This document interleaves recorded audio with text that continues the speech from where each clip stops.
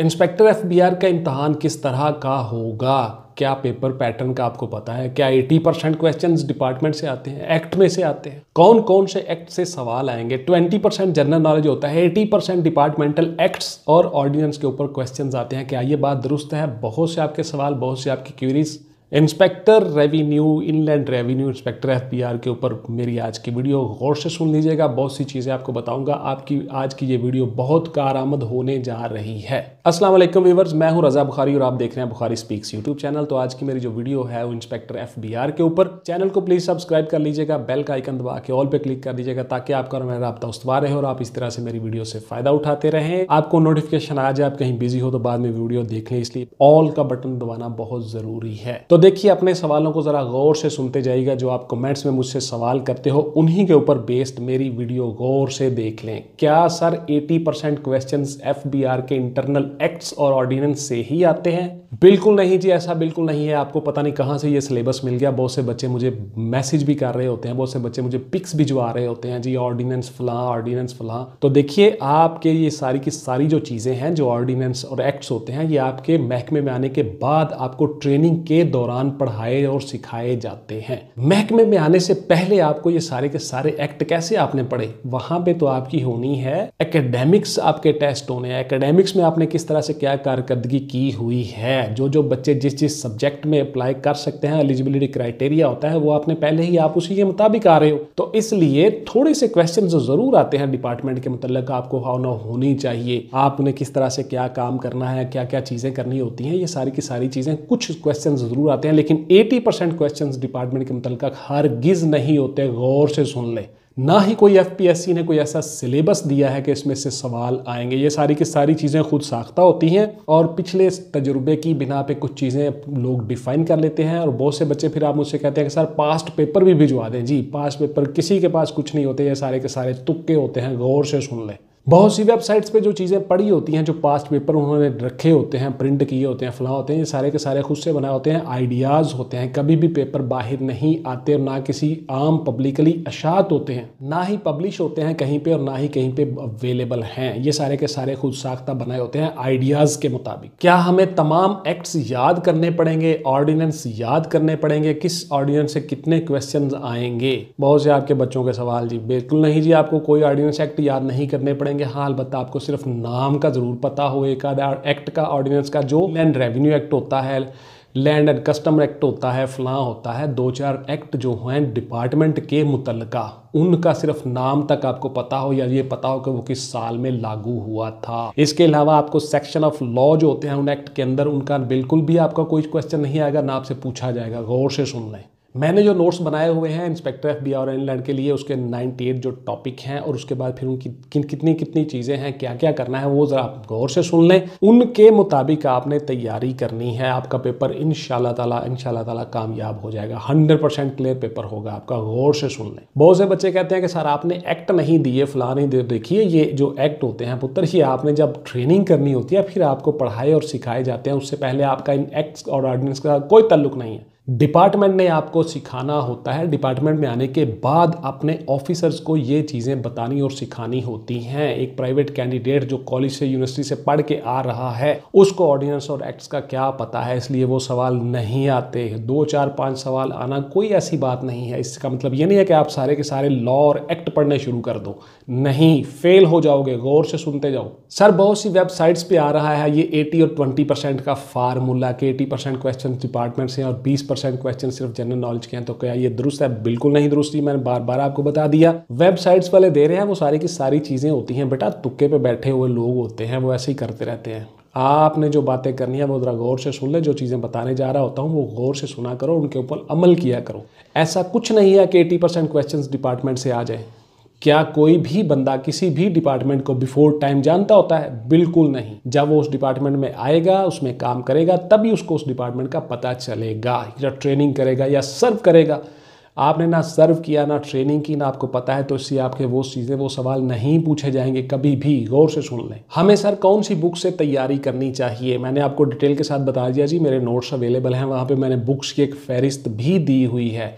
वो बुक्स आप ले आओ, उनसे तैयारी करो नोट्स के मुताबिक, तरीकाकार के मुताबिक अपने आप को तैयार करो, आप इंशाल्लाह कामयाब हो जाओगे। हमें कितना टाइम स्टडी करना चाहिए? आइडियल स्टडी के लिए कितना टाइम देना चाहिए? तो देखिए, आपको कम अज़ कम पाँच छः घंटे तो ज़रूर पढ़ना चाहिए। ग्रेड सिक्सटीन है, अच्छी पोस्ट है एफबीआर है यूनिफॉर्म जॉब है, डिपार्टमेंट अच्छा है, इसलिए आपको अच्छी तरह से मेहनत करनी चाहिए, पढ़नी चाहिए। आप एक टाइम टेबल बना लो, एक शेड्यूल बना लो। आपको फिजिकली भी फिट होना है, फ़िज़िकल फिटनेस के साथ ही आपका दिमाग बेहतर काम करेगा। एक सेहतमंद जिसम में सेहतमंद दिमाग होता है। तो आप अपनी एक्सरसाइज करें फ़िज़िकल की, उसके बाद फिर आप अपना टेस्ट के लिए तैयारी करें, उसका एक टाइम टेबल बना लें, एक शेड्यूल बना लें, नमाज़ पढ़ें, अल्लाह ताला से मदद मांगे, आप इंशाल्लाह कामयाब हो जाओगे। जो जो बुक्स आपको बताई हैं जो जो तरीकाकार बताया है, जो टॉपिक्स बताए हैं वो सारे के सारे आप तैयार कर लो, आप इंशाल्लाह कामयाब हो जाओगे, कोई ऐसा इशू ही नहीं है। किस किस मरहले से सर गुजरना होगा, ये ज़रा बता दें प्लीज़ तो देखिए, सबसे पहले आपकी डॉक्यूमेंट्स की स्क्रूटनी होती है स्क्रूटनाइज हो के आप उसमें क्लियर हो गए, आपको रोल नंबर स्लिप्स आ गई इशू हो गई, तब आपका होगा रिटर्न का एक पेपर सौ नंबर का federal public service commission multiple choice questions गौर से सुन लें। उसमें क्या क्या होगा, किस किस तरह से होगा, कौन कौन से टॉपिक आएँगे, उसका कितना टाइम होगा वन ट्वेंटी एक सौ बीस मिनट दो घंटे hundred M C Q federal public service commission multiple choice question बहुत से सवाल, बहुत सी फ़ील्ड में से, दुनिया के किसी भी मौजू से आ सकते हैं। उसके ऊपर हमने डिफाइन किए हुए हैं नाइन्टी एट टॉपिक उन्हीं टॉपिक में से ताला पेपर आएगा, वो नोट्स आप ले सकते हो। कितने नंबरों वाला सर पास होता है प्लीज़ जल्दी से बता दें। तो देखिए, आप, मैं आपको बार बार बता चुका हूँ, फिर से बता देता हूँ। ये डिपेंड कर रहा होता है कितने कैंडिडेट्स हैं और कितनी सीट्स हैं। उसके हिसाब से मेरिट बन जाता है। मिसाल के तौर पर 300 सीट है जी पूरे पाकिस्तान के लिए। मैं एक मिसाल दे रहा हूँ 300 सीट है पूरे पाकिस्तान के लिए इंस्पेक्टर एफ़ की। मिसाल के तौर पर तो उसके लिए इंटरव्यू मैक्सिमम डबल बंदों को बुला लेंगे 600 बंदों को इंटरव्यू के लिए बुला लेंगे। अब 600 बंदा, जो आखिरी 600 वाला बंदा है, वो 67 पे फॉल कर रहा है। तो 67 उसका मेरिट बन गया, बाकी सारे उससे ऊपर होंगे। सिंपल फार्मूला तो उसमें ये है कि जितने बंदे डिपेंड कर रहा होता है कैंडिडेट्स पासिंग कैंडिडेट्स और वैकेंसीज के ऊपर, उसी हिसाब से मेरिट बनता है। आपने अपना अलबत्ता सौ परसेंट देना है, आपने अपना आउटपुट पूरी एफर्ट करनी है, आउटपुट हंड्रेड परसेंट देना है। बिकॉज़ पूरे पाकिस्तान से लोग आए हुए हैं, हर बंदा कंपीट कर रहा है, हर बंदे ने मेहनत की हुई है। बहुत से आप में से बच्चे कहते हैं कि, सर, जल्दी से मुझे बुक बना दें, जल्दी से मुझे नोट्स भिजवा दें, मैंने तैयारी करनी है, दो को मेरा पेपर है। माशाल्लाह।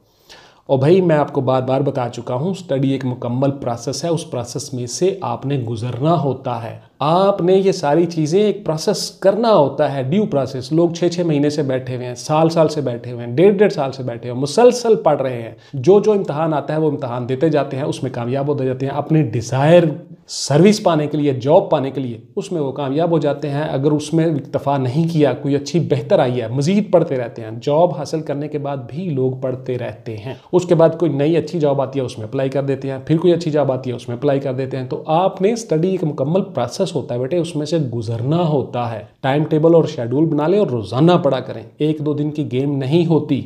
फिर आप फेल हो जाते हो और ब्लेम गेम शुरू कर देते हो कि जनाब पाकिस्तान में होता ही ऐसा है जी फलां हो गया जी। सिफारिश चल गया जी, रिश्वत चल गई है। जितने होना था वो पहले ही हो चुके हैं। ये सारे के सारे लेम एक्सक्यूज़ होती हैं और आप लोग, मैं सख्त अल्फाज समटाइम इस्तेमाल करता हूँ।